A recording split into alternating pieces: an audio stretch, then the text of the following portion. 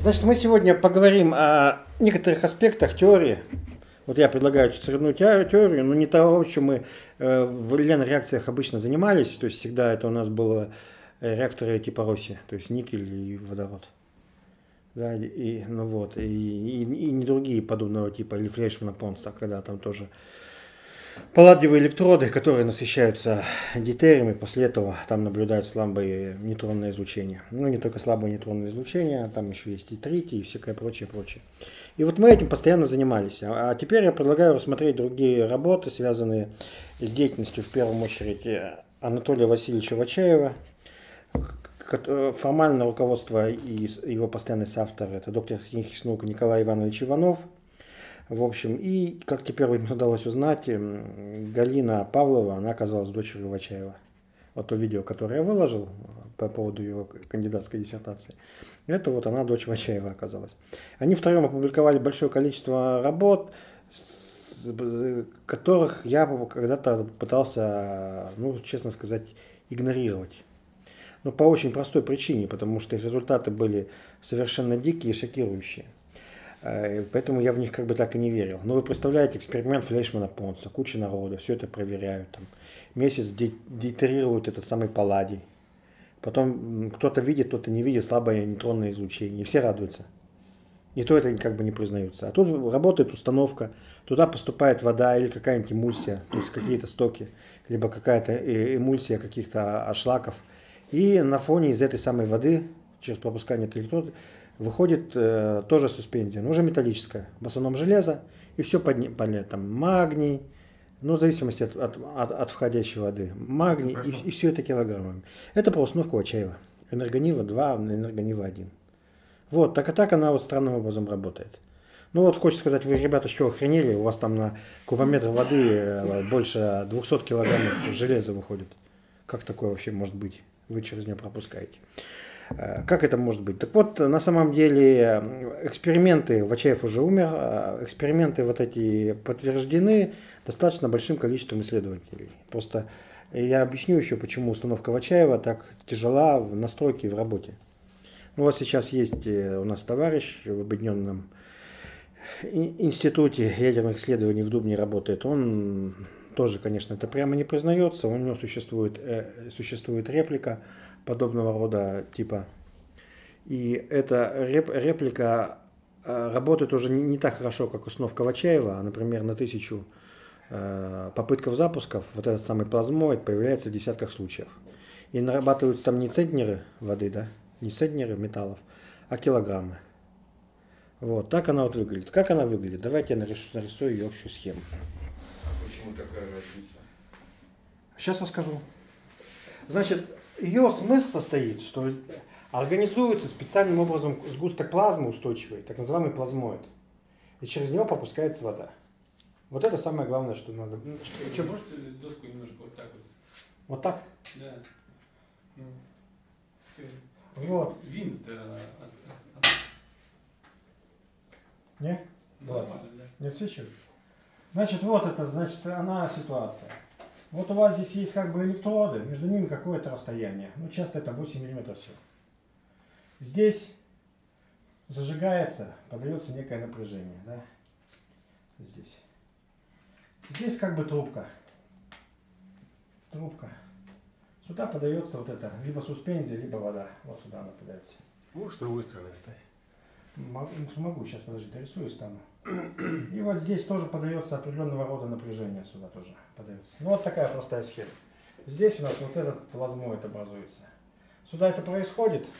Сюда поступает вода с какой-то скоростью, ну достаточно большой, там, метр в секунду. И вот, и здесь сюда она выходит. Значит, для охлаждения, что ли? Да, но из этой охлаждающей, охлаждающей воды, в том числе для охлаждения. Вместо этой воды выходит здесь суспензия металлическая, в основном железо кремний, магний, все что угодно. Что тоже можем подавать суспензию всевозможно. Из этой суспензии будет, и от нее будет зависеть здесь химический состав. Вода проходит непосредственно через, э, через, раз, через, через разряд? Да. И выходит сквозь него. Я даже так и твердо не знаю, там один раз зажигается и потом горит. Здесь возникает ток еще. Нет, вот. ток, ток-то понятно, ток идет через э, Через Здесь- раз- здесь Сначала ток через через разряд, воду. а потом, когда вот Через попадает воду. вода, Два, то два тока. уже Вот здесь ток вода. сильного напряжения. Катушка, это конденсатор. И здесь у нас тоже возникает, возникает ток. Здесь тоже ток. Он вначале подается, а потом, когда эта установка работает, он начинает сильно усиливаться. Потом последние данные говорят, что это не простой ток, а так называемый обратный. То есть его носители выступают не электроны, а позитроны. Ой, позитроны. Скорее вот. всего, протоны. Скорее всего, протоны. Ну, не позитроны-то вряд ли, конечно. Ну, то есть какой-то положительный носитель. И вот он, э, он дикой силой возникает. То есть Это, установка- это- это- определить-то несложно. да. Полярность просто другая. по- по- по- Почему другая полярность? Ну, Ну, вот обратный ток. другие, есть обратный ток. Вот, обратный ток. Значит, вот такова ситуация. То есть эта установка не только работает, но она еще и вырабатывает, э, не только нарабатывает большое количество э, всевозможного веществ, в первую очередь железа, из- просто буквально из воды, из ничего. Ну, представьте себе. Там вода там что-то там Она, они на дистилляты даже пускали, она на дистилляте тоже вырабатывает. Потом я сравнил химический состав, нет, реально, то есть там никакие не примеси. То есть она реально на воде делает. И на суспензия. Ты можешь, например, взять отходы со свинофермы, или ты можешь взять отходы химического производства. Изначально оно для э, э, утилизации отравляющих веществ со сроком годности делалось. Ты смешиваешь их с водой, пропускаешь сквозь эту установку, и они превращаются во что-то. Ну, в основном опять ну, зависит от, от химического состава, что у тебя на фото идет, то, то у тебя разный химический состав. Это мелкий, мелкодисперсионный порошок образуется, то есть такая же суспензия, су- суспензия, только растворенная в воде. Вот такова ситуация. Ну, то есть, представьте себе всю дикость ситуацию, да? Существует металлургия, что-то либо еще, а тут просто из воды, пропуская через ее какой-то загадочный плазмоид, значит, через загадочный плазмоид ее пропуская, мы получаем э, всю, практически всю таблицу Менделеева, поэтому очередь нам нужна. То есть, и самое главное, никакого вредного излучения. Это я просто мяукает кот, а вот, э, а вот здесь собака, да. Это значит, вот так- такова, такова она ситуация. То есть, когда я первый раз с этим познакомился, мне, мне напомнился известный анекдот о, о- о том, как снимали фильм «17 мгновений весны». Все его помните, да? Это, значит, э, там была такая сцена, Штирлиц идет по коридору. И надо было большое количество эсэсовцев э, набрать. А, Вот. Ну и объявили, э, объявили набор вот этих самых эсэсовцев. И тут началось. Раечка, это тебе звонит Сарочка, тут 5 рублей платят за неполный рабочий день. Там, там а, Маечка, это тебе звонит Раечка, и опять ей- мне позвонила Сарочка. И потом, значит, приходит помощник режисс- режиссера на кастинг, а там толпа народу стоит, все как одни на лицо чистая рица, значит. Он на них посмотрел и говорит, вы что, охренели что ли? И здесь точно так же, вот понимаете, люди там большим трудом что-то получают, э, слабое нейтронное излучение где-то там, детерируя месяцами воду, ой, де- детерируя палладий месяцами. А тут, э, а тут в гор- Магнитогорской горно-металлургической академии один энт- энтузиаст э, получает это э, дело просто тоннами. Он просто тоннами из воды шарах, всевозможные металлические порошки. Это кажется совершенным диким, потому что эксперимент еще достаточно простой. Но, к сожалению, он простой это простой, но он требует большого искусства экспериментатора. А почему? А потому что вот этот плазмоид, он организуется очень сложно. Вот эти электроды имеют свойство очень быстро выгорать, и тогда плазмоид исчезает. Тогда здесь возникает обычный токовой э, разряд. Он начинает трещать, ветвиться, и весь эффект полностью пропадает. Только тогда, когда вот этот самый плазмоид э, существует. Если этот плазмоид существует, то вот такой эффект и есть. А Может, это железо с этих электродов? А? Железо с этих электродов? Они медные, вымывало? медные. Они медные. Это не с него. Ну, ну вот ты представь, у тебя два небольших электрода, а у тебя на, на выходе тонна железа. Объем воды какой нужно пропустить, чтобы получить тонны железа? Ну, там где-то на сотню килограммов кубометр воды. То есть один к десяти, да? Ну, То приблизительно. есть железо из Иногда- воды, что ли, добывается? Да, да, да.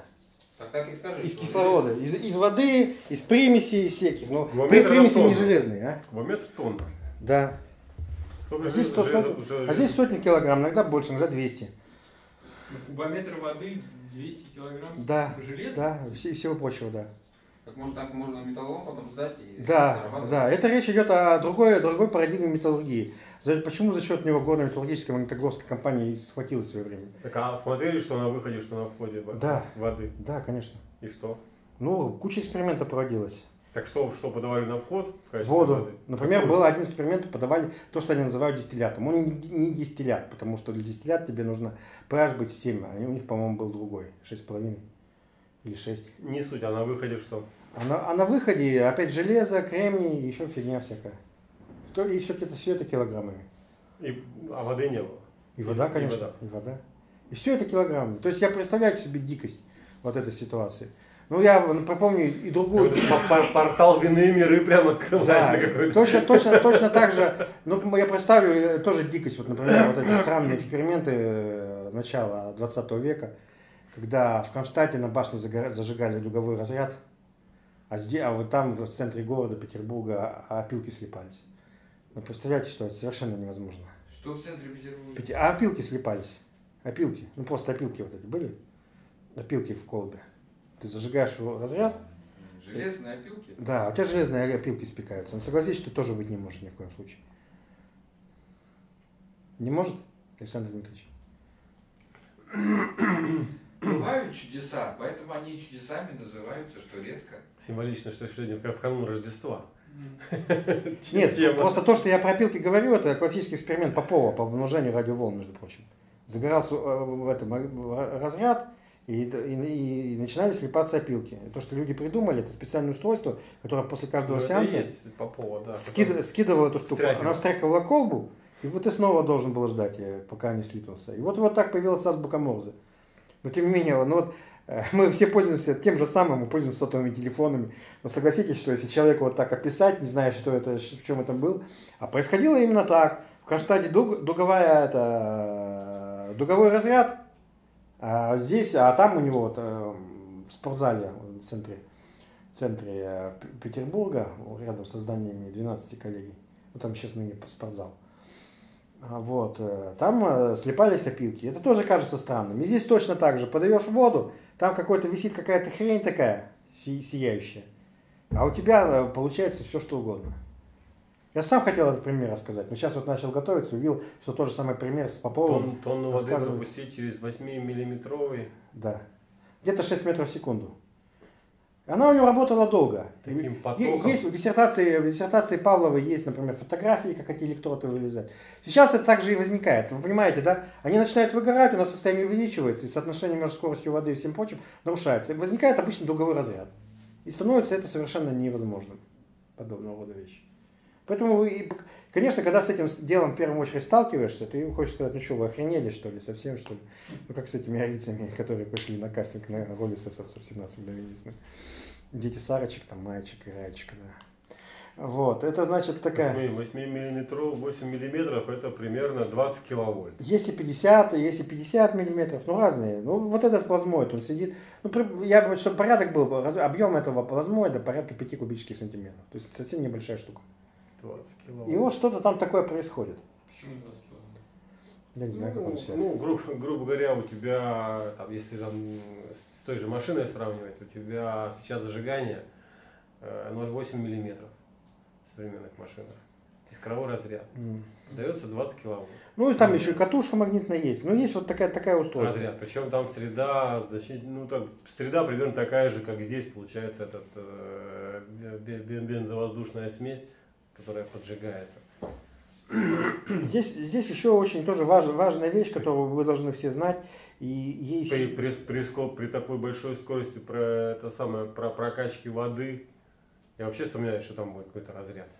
Ну вот они его за- зажгли, и это вот туда... горение воды, да?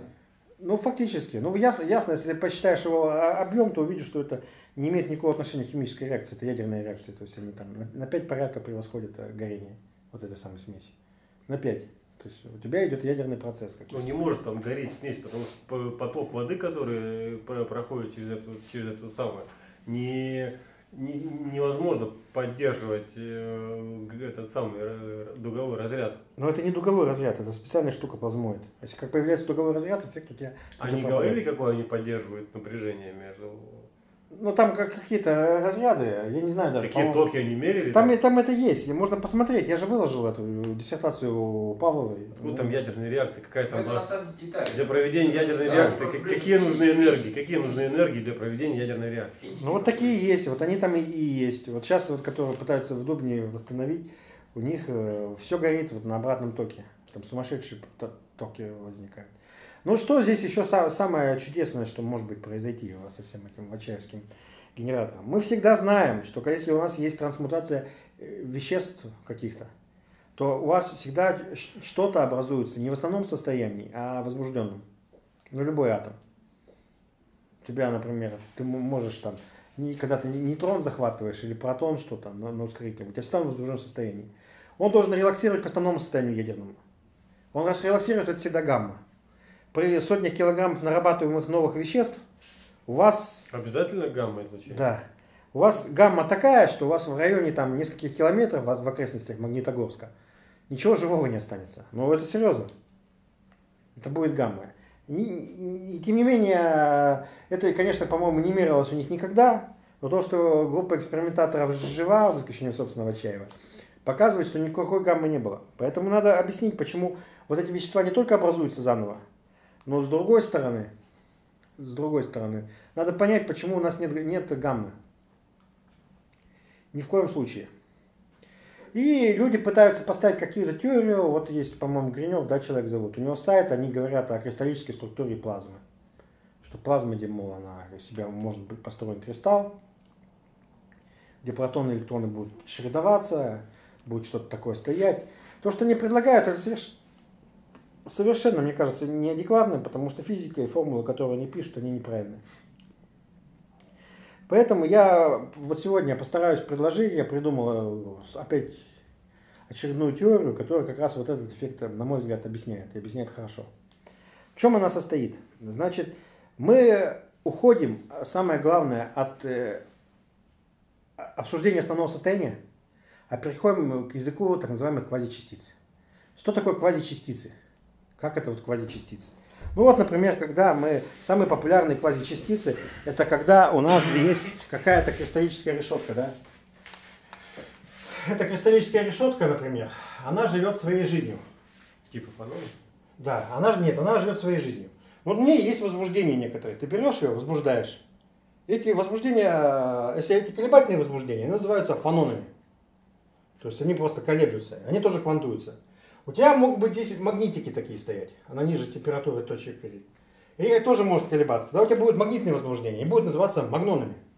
Есть у нас, например, экситоны, когда мы опять отказываемся рассуждать об, этом, об этой решетке, нас интересуют только две позиции. Связанное состояние, скажем, этого дырки и, и, и электрона. Хотя это очень условно, дырки и электроны. В каким-то слу- случае можно говорить об электронах в газе тоже как о квазичастицах. Но тогда, когда это, грубо говоря, не электрон прыгает с атома на атом, да, а когда у нас электрон, как, э, электроном, за- квантовым зарядом, мы говорим, что это просто некоторые флуктуации э, э, зарядовой плотности около атома, да, она тоже каким-то образом. И вот она такая, тоже волна этой области пошла, как и волна. Поэтому в физике есть такой популярный язык, когда они говорят, что мы представляем себе твердое тело как газ квазичастиц. То есть у вас, например, попадает электрон, он с чем взаимодействует? Он с квазичастицами взаимодействует в первую очередь. А эти квазичастицы в первую очередь это что такое? Это фононы, то есть кванты колебаний. То есть мы представляем себе газ, заменяем, превращаем его в некий набор э, частиц. Если ниже точки Кюри, то еще магноны. И вот мы таким образом живем. Вот. Я, э, нам потребуется дру- другая штука, которая вот у нас есть плазмоид, а есть плазмоны, тоже квазичастицы. Когда мы, грубо говоря, в пл- в плазме же там у нее ядра ободраны от электронов, ну, в хорошей плазме не полностью ободраны. И у вас электронный газ э, летает самостоятельно. И вот эти колебания мы можем называть э, в плазмоиде, будем называть плазмонами. Вот такой вот странный язык. Я хочу напомнить, что все-таки говорить о них как о частицах это неправильно, потому что, например, для фонона, для него отсутствует э, координатное представление волновой, волновой функции. То есть это в первую очередь волна. Ведет он себя ровно так же, как фонон, фотон. Фонон ведет себя как фотон, очень похож. Единственное, у него есть так называемый закон дисперсии. Закон дисперсии это связь между импульсом и энергией. Для электрона это так. Для электрона, допустим, ну для нормальной частицы. Энергия там пропорциональна p квадрат. Для фотона, она пропорциональна P, это закон дисперсии. А, например, для решетки, для фанона, для него он произвольный совершенно, этот закон. Этот закон может быть в зависимости от конфигурации решетки. В разных направлениях этот закон разный. Вот. Но мне вот этот язык, он чрезвычайно важен. И поэтому меня абсолютно не интересует, из чего устроен этот плазмоид. Его структура, она не важна. Важно видеть, и это точно доказано, что это некая фундаментальная структура. То есть все частицы там двигаются по каким-то эм, траекториям устойчивым. То есть она, э, как бы вот эта самая штука, может рассматриваться как определенный вакуум, на котором мы вводим понятие квазичастицы. Что это означает? Это раз у нас есть вот такая вот эта структура, в нее вылетает ободранный, например, О, О кислород, да? Ядро, ядро кислорода она вылетает. Теперь представьте себе, что здесь у нас как бы вот есть она квазикристаллическая или что-либо еще, или какие-то они здесь двигаются по центрам. Значит, что у нас здесь происходит? Вот, допустим, она вот здесь плюс, а вот здесь, если мы имеем в виду э, некоторые, ну, ну тоже, допустим, плюс, да, ну давайте плюс. Значит, вот она мимо него пролетает, пролетает она мимо него. Она пролетела, она сообщила, передала ему некоторый импульс. Этот импульс направлен туда, допустим, вверх. Почему? Потому что они отталкиваются. Но поскольку мы говорим об этой структуре, как о некоторых колебаниях постоянных, у нас О улетел, вот. Далеко-далеко улетел О. Теперь эта самая система, она у нас начала э, свои колебания, пошла в обратном направлении. Ну, как гармонический маятник. Что это означает? А это то же самое, что когда она вернется, что у нас здесь появится, как, бы, как будто вот она когда вернется в противоположную ситуацию, тот же самый кислород пролетает с той же самой скоростью, но только с отрицательным знаком. Понятно, да? Ситуация. Гармонические вычисления. Вот я пришел, толкнул, импульс ее направлен вверх. Теперь она провела гармоническое деление, вернулась она обратно. Тогда эта картинка будет ровно, ровно такая же, ну, если бы, вот только импульс здесь прямо ровно такой же, направлен в том же самом направлении, направлен ровно вниз, но так, что у кислорода у тебя знак отрицательный. Да? То есть тот же самый эта вещь. То есть у нас оказывается, что первые, и вот этот кислород улетел. А теперь у нас идет второй кислород, допустим. Это атом кислорода, что ли? Ядро. Ядро кислорода, плазма, бодранное все. То есть с минусом значит лишний электрон. Нет, это означает, что, у него, что это как бы некий виртуальный О, а ядро кислорода, у которого а, знак прямо противоположный. Ну давайте вот это. У ядра же плюс себе. Ну. А как он минус? Как вот? Ну вот я и рассказываю как. Ну это как бы. Как бы. Минус. Как бы. Для расчета. А вот э, такой вопрос. А вот э, аналогичный механизм в сверхпроводнике, Да. э, там же тоже вроде то же самое. Да. А как это, как этот механизм приводит э, к силе Слияние. притяжения между двумя электронами? Ну, очень просто. Вот я просто до этого не рассказал. У нас, а, у нас ровно, чтобы я не говорил, что, что это ровно аналогичный механизм фононного взаимодействия сверхпроводнике. Низкая, низкотемпературная сверхпроводимость, вот этот механизм, я его оттуда и позаимствовал, по большому счету. То есть так называемые куперские пары. Что такое электроны? Электроны у них одинаковый заряд, значит они отталкиваются между собой. Спарить их, создать из них нечто очень сложно. А куперовские пары это когда у тебя, грубо говоря, связаны два э, э- э- электрона с противоположными спинами. Вот они как бы так связаны. И у них тогда суммарный спин равен нулю, допустим. Да? Раз у них э, суммарный спин равен нулю, вот, раз, раз у них суммарный спин равен нулю, то это значит, что они начинают вести себя как бозоны. Это означает, что они могут накапливаться бесконечно на одном и том же состоянии. Да? На нижнем. А как обычный электрон двигается? Он когда идет, идет, он видит, что это состояние, он фермион. Это состояние у нас занято. Раз это состояние у нас занято, то это, а что это означает? Что он должен переходить на более высокое энергетическое состояние. Идет, идет на нем, потом еще на более высокое. И всякий раз, когда при движении электрона, он потребляет энергию, то есть его надо выводить на более высокое энергетическое состояние. Когда у, когда у нас они бозоны, то они все могут вместе скапливаться на нижнем энергетическом уровне. Это раз. Во-вторых, представьте себе, что одна из этих пар будет разрушена, хоть какая-то. Когда она разрушается, хоть одна из этих пар, из, из, из этих, из этих вещей, то она таким образом запирает все остальные пары здесь внизу. Почему? Потому что разрушение остальных пар оказывается невозможным. Ну, потому что если она какой-то отсюда вылетит электрон, он будет ровно такой же, как вот этот. Что принципом Паули запрещено. И возникает знаменитая э, щель в спектре. И вот э, так устроена сверхпроводимость. Знаменитые куперовские пары, они за счет, э, вот так они работают. Как механизм приближения. Да. Осталось понять, каким образом два отрицательных заряженных частицы, два электрона, могут притянуться друг к другу. И поэтому ими была предложена следующая технология. У тебя стоят атомы, и вот у тебя налетает электрон. У него здесь плюс, у атома минус. И вот электрон прилетел, он передал ему импульс. Это импульс здесь будет притяжение. И вот этот самый атом, он поехал вперед, сюда, к нему, хопа.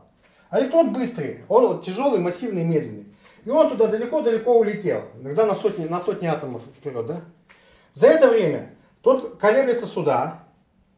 Здесь налетает второй электрон, да? Второй электрон сюда летит. Да. А поскольку вот эта самая штука колебательной маятник сделалась, у нас здесь как бы появился как бы виртуальная частица дополнительная, но уже со знаком плюс. Понятно, да? За счет магии. И здесь вот... Со... А? Типа фанона, что Нет. Почему фанона? Точно такого же электрона, только с другим знаком. Я говорю, по смыслу такого. Нет, вот эти колебания, вот эти самые колебания системы, это как бы фанон. Да его по физике колебания. нет этого. Как? Именно по физике это есть. Нет, это по, по физике его нет. Откуда, откуда он там появляется? За счет, за счет фанонного, фанонного взаимодействия. То есть таким образом у нас... Фанонные а, дырки, что ли, Да, оказывается, между здесь электроном и здесь электроном, да, вот этим пролетевшим электроном, у нас как бы оказывается некий посредник, путем колебания кристаллической решетки. И эта кристаллическая решетка заставляет вот эти штуки таким образом по механизму спариваться. Понятно? Или непонятно? дырка типа. Как бы плюс это, нет? Ну, ну, нельзя сказать, что она фанонная дырка. Почему? Ну, ну у тебя кристаллическая решетка деформируется таким образом. Вот она деформируется, она качается, как гармонический осциллятор.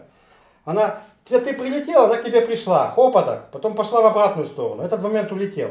Когда она в обратную штуку ушла, ты воспринимаешь вот, этот самый, вот этот самый электрон, как, э, как будто здесь появился электро, электрон с противоположным знаком, поскольку она пошла в другую сторону. Ну, как гармонический маятник. И здесь прилетел этим. И, он, и у нас вот эти две как бы частицы получается, что могут спариться. Поскольку у них знак у тебя противоположный. Понятен, понятен принцип? Ну, и что? И они же должны быть реально, два реальных электрона. Ну и вот, и вот, это, и вот таким образом, там, там путем, нет, это, путем, путем длинных, длинных волн, то есть вот этот самый электрон вот таким образом. То есть у, у тебя возникла некая, некоторая... Как такового там нет положительного электрона, там, Нету. просто, там просто некая область, ну нет, обладает определенными так. Вот, у тебя получается через 100, 100 атомов, да, через 100, я понимаю, что дырка через 100, через 100 атомов, благодаря фанонному взаимодействию, у тебя возникло между ними притяжение. Ну, у тебя же возникло притяжение между ними. Вот это когда прилетает, на него действует некая сила притяжения. И вот таким... На самом деле, как бы эта вещь все равно даже на таких вещах наглядно понять невозможно. Это чисто там э, квантово-механический расчет проводится, и, э, и, и как бы показывается, что система с двумя электронами, она как бы, ну, стабильна. в смысле, она, они притягиваются друг к другу, то есть она им более выгодно занять там, наименьший энергетический уровень. Да, да. Это понятно. Ну, тем не менее, вот э, физика вот, э, вот такая. То есть, как бы у нас происходит взаимодействие благодаря э, посредничеству фанона, фан, фанонов. Откуда там железо появляется? То есть вода разлагается на э, атомы водорода, которые, которые, которые в итоге сливаются. Смотрите, что, что здесь вам, как надо быть? Что у нас является проклятием всех я, я, я, ядерных этих штук? Ты можешь, например, кислород плюс кислород собрать, да? Но ты их не можешь. Почему? Потому что между ними у тебя сила кулоновского расталкивания. Я понимаю, здесь в данном случае э, идет разложение воды фактически ну, на водород, который ну, очищ, вод, очищен водород. чи, чи, чистый плюс, ну, то есть ядро да. водорода. Нет, вода, кислорода. Кислорода, водорода, чего угодно. Чего то попадает, ну, то ну, ну, неважно, да. Соответственно, так сказать, э, э, поскольку присутствуют э, атомы водорода, угу. они, возможно, каким-то образом э, происходит слияние с атомами кислорода, не знаю, из чего там, с содержимым чего-то. И отсюда, отсюда возникают новые элементы. Нет, ну вот, значит, вот такова. И они вот этот кулоновский барьер преодолеть не могут. А теперь представь себе, вот они пошли гуськом один за другом, вот так кислороду, и все кулоновский барьер приложить не могут. Ну, за счет того, что у нас начинаются колебания вот этого плазменного этого шнура, то есть его возбуждение, вот эти квазичастицы. Точно так же, как с сверхпроводимостью, оказывается, что здесь между везде плюсы-плюсы, скажем, посередине возникает минус. Вот он. Вот он. О минус, его плюс. И здесь оказывается подобного рода вещь, что между, э, скажем, двумя, двумя плюсами возникает один минус. Вот такой. Точно такой же, такой, точно такой же кислород. Что это означает? Это означает, что кулоновского барьера здесь нет. И оказывается возможным реакция слияния. Куда он ушел? Ну, это, это понятно. Ушел поспать. То есть Ушел чис- поспать. чисто энергетически так получается, за, из-за- за счет колебаний За, за счет взаимодействия с квазичастицами, возбуждениями плазменного шнура. Если у нас действительно плазменный шнур есть некая устойчивая конфигурация, непонятно какой, то у ней есть некоторые минимальные возбуждения, то есть кванты. Ну вот их можно плазмонами назвать, можно как, то есть плазмоны в плазмоиде, да? Вот так их можно назвать. За, счет- за счет этого. И поскольку они колеблются, то они как бы то они как бы ин- индуцируют как бы некую такую частицу, которая ровно тот же самый кислород, допустим, но он обладает отрицательным другим знаком. И за счет этого кулоновского барьера нет. И вот у тебя вместо кулоновского барьера есть, как бы, грубо говоря, даже притяжение. Это вот как бы странно, но это вот именно так. Достаточно для, это для слияния ядер. Да. Они подходят на близкое расстояние, там начинают действовать ядерные силы уже. Не, ну там понятно, что как бы сливается виртуальный вот этот. Нет, нет, нет, сливаются настоящие А как частицы. настоящие сихи? Все равно у них как клонский барьер остается. То есть как раз наоборот, Нет. по- посередине нет частицы как таковой нет, то есть есть некое просто потенциальное поле, которое, которое, которое снимает, есть- снимает То есть у тебя посередине, посередине между ними сто- стоит эта штука, которая Ну, снимает Не стоит там ничего. Там нет, там нет частицы как таковой, там просто Ну, некий что- потенциал, который позволяет двум соседним частицам Слиться, физически да. реально существующим слиться. Вообще, вот смотри, в сверхпроводнике, на самом деле, вот эта куперовская пара, там, э, там образуется как бы корреляция просто между двумя электронами, на самом деле, а расстояние, между, при том расстояние-то между ними намного больше, чем э, средний размер атома. То есть там, как бы, они не, не, не подходят близко друг к другу. Ну, они не здесь- подходят, а а здесь, там потому- должны Там даже- электронный газ, он разреженный, они бы, действительно, они там и не подходят друг к другу. А здесь, а здесь какая-то частица прилетела, и все, мы про нее забыли. Но теперь образ, как бы, тень этой частицы среди других частиц появляется, но она обладает еще положительным знаком, противоположным, кулоновским. Вот такая. То есть, как бы то, что То- этого, этого эффекта достаточно для преодоления кулонского барьера, это совсем не очевидно. Поскольку, Совсем не очевидно. В сверхпроводнике э, как бы такого, такого бы эффекта не получилось. То есть, э, Ну вот здесь оно по- получается, я знаю, что надо считать по большому счету. Считать надо, да, подумал. Да, я просто просто рассказываю. Ну, за счет чего? Потому что у да, тебя здесь порядки Физика энергии и количество взаимодействующих частиц, они, ну, ну там, ну, здесь шестой, здесь седьмой больше, чем в сверхпроводнике. Ну, плазма. Плазма. Здесь порядка, порядка ч- частиц одновременно участвуют в этом деле. Порядка моля, то есть 10-27 степени. И вот эта вся, вся эта частица, она и продавливает э, и создает такой как бы невыносимый вот такой эффект. Теперь осталось понять, и когда они сливаются, они все равно сливаются в возбужденном состоянии, да? У тебя появилось новое ядро, допустим, оно у тебя образуется в возбужденном состоянии. И все кругом опять умирают от гаммы, должно быть в классической физике, да ведь? Казалось бы, за счет чего это происходит. Теперь нам надо по- вспомнить и, поговорить о том, чё- что такое вакуум физический. Ну, вот на сегодняшний день физический вакуум, например, э, для каждого поля, для каждой частицы, он как бы свой. Если у нас есть электронное поле, электронно-позитронное, то у него есть электронно-позитронный вакуум. Если у него есть э, электромагнитное поле, то есть э, фотонное поле, то для него фотонный вакуум. Для, скажем, для пиомезонов свой, свой вакуум, для них везде свой вакуум. Вот. Э, ну, вообще-то существует в аксиоматической как бы, э, теории поля, там существует понятие вакуума э, взаимодействующих полей. Вот. Ну, Вот так- таки- таким образом. То есть, что такое фотон? Это как бы возбуждение. У тебя есть некий вакуум, энергия которого не равна нулю, вообще говоря. Ты, у него есть некое элементарное взаимодействие. Это фотон. У тебя есть фононный вакуум, у него есть тоже элементарное взаимодействие. Это фонон. У тебя есть пимезон, уже настоящая частица, у него есть тоже свой вакуум. Это тоже, а, значит. Вот как два заряда взаимодействуют у нас в физике, нормальной, нормальной физике, как взаимодействуют? Ну просто два заряда стоят отрицательного знака, между собой притягиваются. С точки, с точки зрения квантовой электродинамики, так все тоже очень хитро оказывается. Но у нас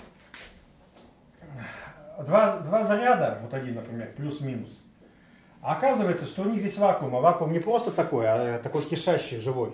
Состоят из виртуальных фотонов, и, ну, скажем, виртуальных электрон-позитронных пар. Они все время рождаются, умираются, рождаются, умираются, рождаются, умираются. И вот этот заряд с этими парами, он начинает взаимодействовать. Ну, например, какая там простая, самая простейшая штука.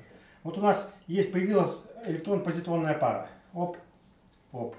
Поскольку у нас есть заряд плюс, вот это у нас как бы электрон, то эта пара как бы немного раздвигается. Возникает поляризация вакуума. И что у нас происходит? В окрестностях двух зарядов среднее вакуумное значение, оно становится меньше. Ну, меняется как-то. И это мы воспринимаем как притяжение двух, двух зарядов. Меняется как бы энергия вакуума. Потому что, еще раз, с точки зрения, это дико, конечно, звучит, с точки зрения современной физики, для каждого поля существует собственный вакуум, и это есть э, э, не что иное, как некие, некое кишение виртуальными частицами, которые рождаются, умирают, рождаются, умирают. Вот, такая это, это вещь. Поэтому, когда мы сталкиваем две частицы в нормальном физическом вакууме, то есть в фотонном вакууме, все, что мы можем сделать, это его элементарное возбуждение. То есть гамма-частица это элементарное возбуждение обычного вакуума. Такова вот эта самая ситуация. Что здесь у нас является вакуумом? А вакуумом вступает, собственно, плазмоид. Поэтому те реакции, которые у нас происходят, тоже связаны с возбуждениями вакуума. Но вакуума уже своего, вот этого самого плазмоидного вакуума. То есть для вот этих самых плазмонов, э, где плазмон является элементарным возбуждением. Таким образом, у нас гаммы нету, а вместо гаммы у нас есть как бы э, некие активные э, кванты вот этого всего самого плазмоида. И он разогревается, и по нему течет ток, и так далее, и так далее. Точнее, он разогревается. Нейтроны куда деваются? А? Нейтроны куда деваются? Какие нейтроны? Куда? А где они есть, нейтроны? Излучения вообще не происходит? Гаммы нету. Но излучение есть? Нету, практически нету. А куда уходит энергия в результате взаимодействия? В разогрев плазмона. И в разогрев плазмона. И вот в этой самой ток. Он нагревает вот эту самую, самую штуку. И все. То есть, грубо, грубо говоря, у тебя есть вот его вакуум плазмоид. По нему вот эти плазмоны бегают. Ты-ды-ды-ды-ды. Колебания в нем. Элементарные. Ну, представь себе такой пульсирующий, как кристалл, вот у него фаноны, он, он так тоже колеблется. Здесь в, в этом плазмоиде тоже колеблются, как бы, вот они. Вот, такова вот у нас, значит, эта ситуация. И эти, грубо говоря, у тебя две частицы слились. Соединяются, как бы, это, протоны, да? Ядра соединяются, да. Ну, они как угодно соединяются. Не, ну, смотри, как бы, ядро, это ну, Водорода, на... это что у нас? Ну, 8 и 8, 8, 8 нейтронов, 8 этих, 8... Э... Это кислорода так? Да. Ты про что спрашиваешь? Я про водород. А, про водород, да. Это протоны, да. Ну, ну протон, протон здесь сливается, здесь только, я думаю, есть акты, акты слияния с, с другими частицами. То есть он, он часто к другим Почему частицам... именно когда железо появляется, какие-то... Непонятно. Там от, от материала суспензии, который подается, от его за она, она и появляется. По каким законам у них происходит там, э, это, это вещь что трудно объяснить. Но мы же знаем, что там миллионы раз отличаются сечения захвата, скажем, нейтронов для разного рода веществ. Ну, я понимаю, согласно, согласно последним исследованиям, если не ошибаюсь, э, рождение элементов вообще во Вселенной происходило при взрывах сверхновых. Может быть. Где энергия была, ну, взрыв сверхновой никак не сравнить с той энергией, которая э, ну, образуется. Да, но около сверхновой никто не был, по большому счету. Что там происходит, не знает, это все наши гипотезы. Ты пошел котик кого-то полюбить опять? Пошел любить. И ты тоже пошел любить. Все пошли любить. Встреча произошла. Любви не произошло. Не, не, было, не было фанона посередине. Не фанона, не, не было. Не слились. Мы же не знаем, что там происходит у них. Я понимаю, что не знаю. У нас только, только гипотезы, что вот такая штука есть. Но это надо, надо, надо, надо, надо понимать, что потому что у тебя обычная, обычная реакция, вот у тебя есть фотонный э, вакуум, и в этом фотонном вакууме ничего другого появиться, кроме как гаммы, не может. Энергия носит только гамма. А здесь у тебя вакуум другой. Условно говоря. Вот такая вот вещь. Ну, вроде как фотонного вакуума уже это не отменяет, нам еще Ну, это, это не, не очень понятно, но на самом деле гамма, конечно, должна быть какая-то. Совсем тоже без гаммы не может быть рентгена. Я знаю, вот сейчас большое количество экспериментов ставят, они просто дуговой разряд делают, и поток нейтронов и рентген фиксируют. Но вот распространенная вещь. Я всем рассказываю это шуточный калифорнийский эксперимент, когда люди на барабане быстро а, разматывают скотч. Конечно, я рассказывал? Ну, поставили вот такое в Калифорнийском институте. Берут обычный скотч, у нас же скотч теперь стал очень моден после появления графена. Вот. Со скотчем все что делают? Берут и на барабан а, он на это, накручивают. То есть с одного катушки разматывают, другой на это. Возникает рентгеновское излучение. Что-то быть не должно по обычной физике. И они взяли палец в нем, рентгеновский снимок его сделали. И выложили. Такой ролик есть. По-моему, Калтек, Калифорнийский аналитический институт. Такую вот штуку сделали. Вот так они, ребята, прикололись. Ну, может быть, потому что когда катушка с э, этим самым разматывается, э, а там же липкий слой, то есть можно возникает где-то электростатика от трения, просто, просто, просто-напросто большое напряжение. И ну, отсюда, и, отсюда и рентген, да, рентген. Да. Не, ну рентген нет. Рентген, наверное, все-таки странно как. Почему? Обычно электростатика и... Так, электростатика это да, но при электростатике ты рентгена не получишь. Разряды, почему электростатика, большая, большая электростатика, разряды. И что, рентген будет? Да. Не знаю. Ну, может и будет рентген. Сомневаюсь, что там рентген будет. Но тем не менее, вот такие эксперименты делаются, большие такие вот вещи. То есть реально и, и фиксируют и при обычном дуговом разряде и нейтронное, и нейтронное излучение, это, но все это слабое. Здесь эффектно. Почему? Потому что вот искусство вот этого плазмона, плазмо это не вешают. Ну, очень странный результат. Прогоняя, прогоняя воду, получая сотни килограммов железа. Да. Кто об этом не знает, Нет, об работают, этом знают все. работают целые металлургические комбинаты, которые это делают. Да. Гаджеты. И... Ну я, видите, я же на вами эксперимент поставил по поводу дуга, дуга и опилок. Ну, согласитесь, что дико, дико, конечно.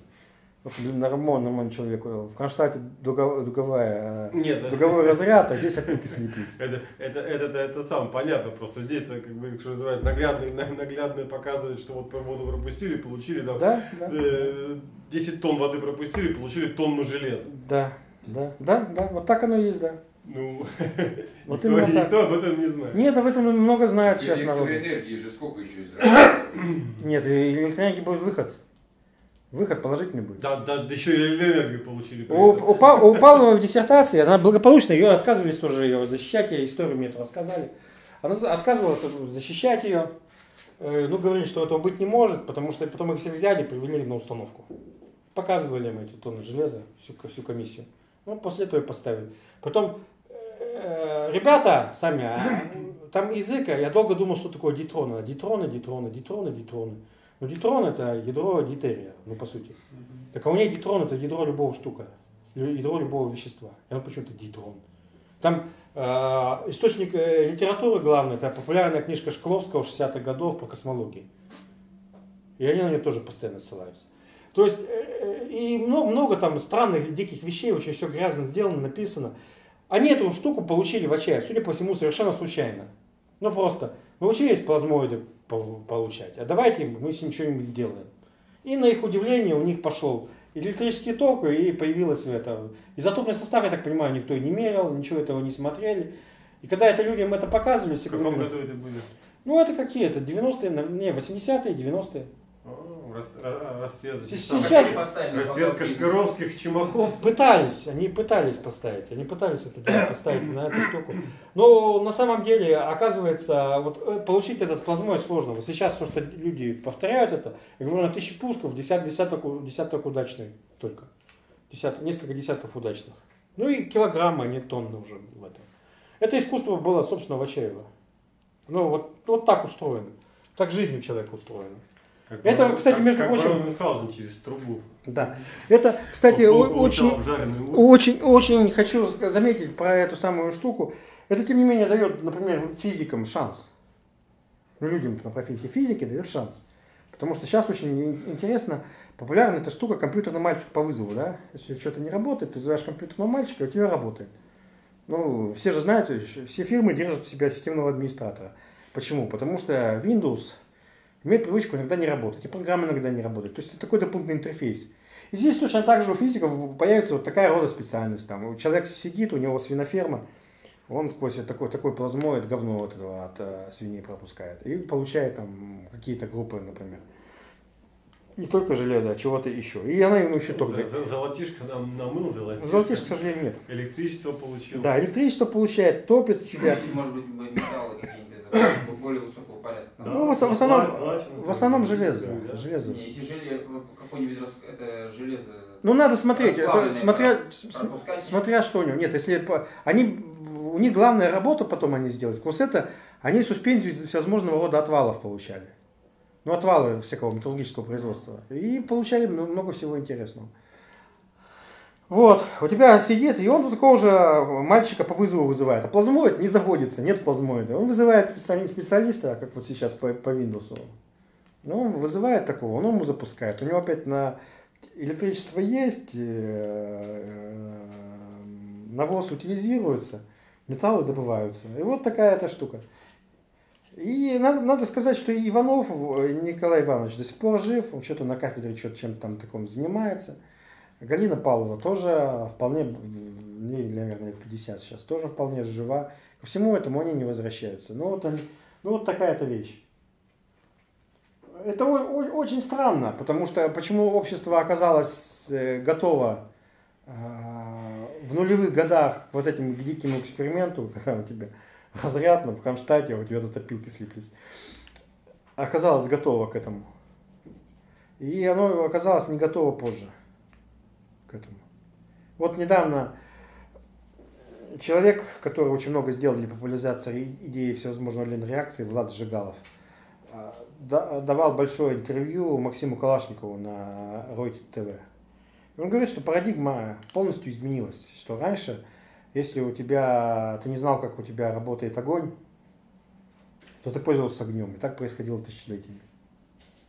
А теперь невозможно, если ты сейчас берешь эту самую штуку, и ты не можешь объяснить, как она работает, то и общество как бы ее не принимает. Это раз.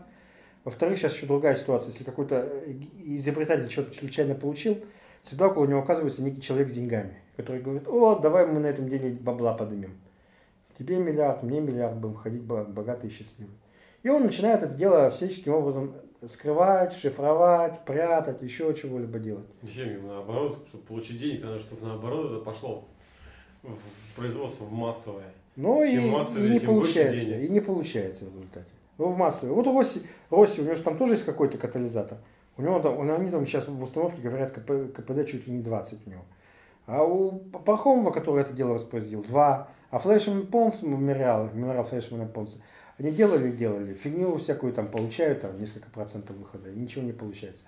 Есть опять и, э, эту установку, вот, по большому счету, воспроизвели сейчас две группы. Ну, вот так достоверно общество говорит. Обе они в России. Это Пахомов, собственно. Вы про Россию говорите? Да, про Россию.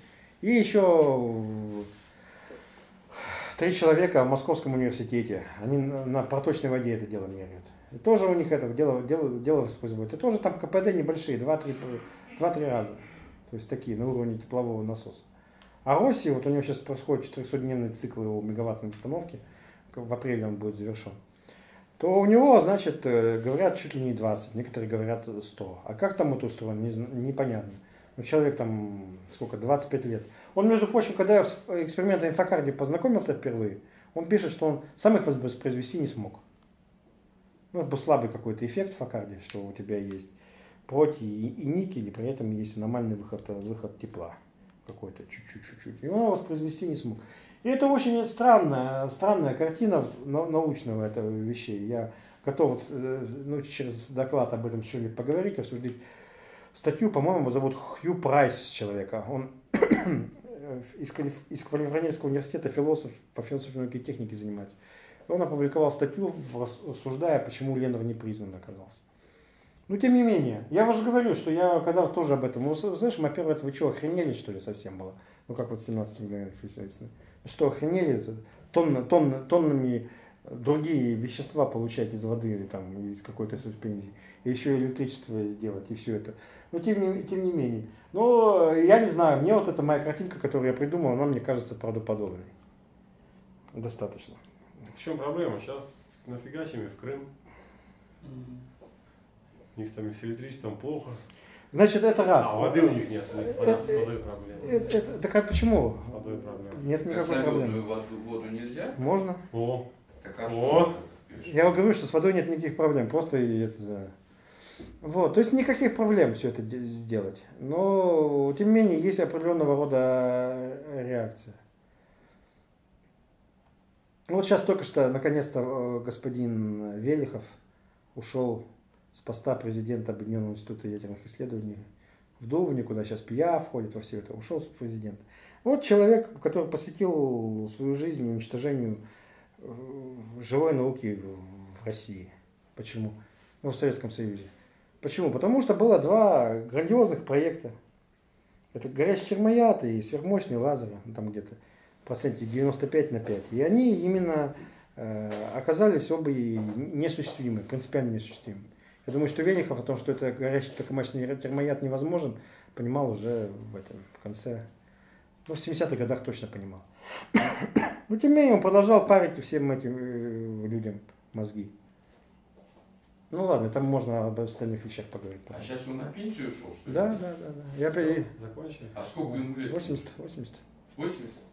И поэтому он сделал карьеру.